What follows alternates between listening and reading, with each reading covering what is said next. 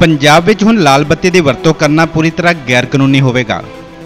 ਪੰਜਾਬ ਸਰਕਾਰ ਨੇ ਆਪਣੇ ਚੋਣ ਮੈਨੀਫੈਸਟੋ ਦੇ ਵਾਅਦੇ ਅਨੁਸਾਰ ਇਸ ਸੰਬੰਧੀ ਰਸਮੀ ਤੌਰ ਤੇ ਨੋਟੀਫਿਕੇਸ਼ਨ ਵੀ ਜਾਰੀ ਕਰ ਦਿੱਤਾ ਹੈ। ਨੋਟੀਫਿਕੇਸ਼ਨ 'ਚ ਕੁਝ ਸ਼੍ਰੇਣੀਆਂ ਨੂੰ ਛੱਡ ਕੇ ਸਾਰੇ ਵਾਹਨਾਂ ਦੀ ਲਾਲ ਬੱਤੀ ਦੀ ਵਰਤੋਂ ਤੇ ਰੋਕ ਲਗਾ ਦਿੱਤੀ ਗਈ ਹੈ।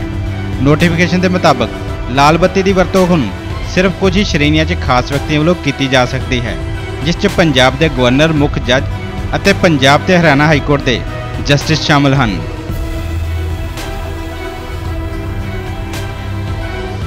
ਤੁਹਾਨੂੰ ਦੱਸ ਦਈਏ ਕਿ ਪੰਜਾਬ ਵਿੱਚ ਕੈਪਟਨ ਅਮਰਿੰਦਰ ਸਿੰਘ ਦੀ ਨਵੀਂ ਸਰਕਾਰ ਵੱਲੋਂ ਆਪਣੀ ਪਹਿਲੀ ਹੀ ਕੈਬਨਿਟ ਮੀਟਿੰਗ ਵਿੱਚ ਵੀਆਈਪੀ ਕਲਚਰ ਨੂੰ ਖਤਮ ਕਰਨ ਦੇ ਤਹਿਤ ਲਾਲ ਪੱਤੀ ਨਾ ਲਗਾਉਣ ਦਾ ਫੈਸਲਾ ਕੀਤਾ ਗਿਆ ਸੀ, ਜਿਸ ਦਾ ਅੱਜ ਨੋਟੀਫਿਕੇਸ਼ਨ ਜਾਰੀ ਕੀਤਾ ਗਿਆ ਹੈ।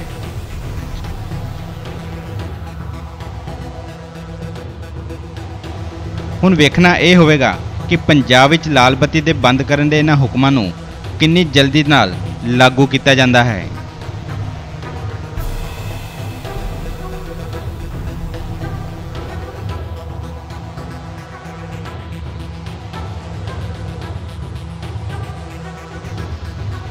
Bureau report, Punjab today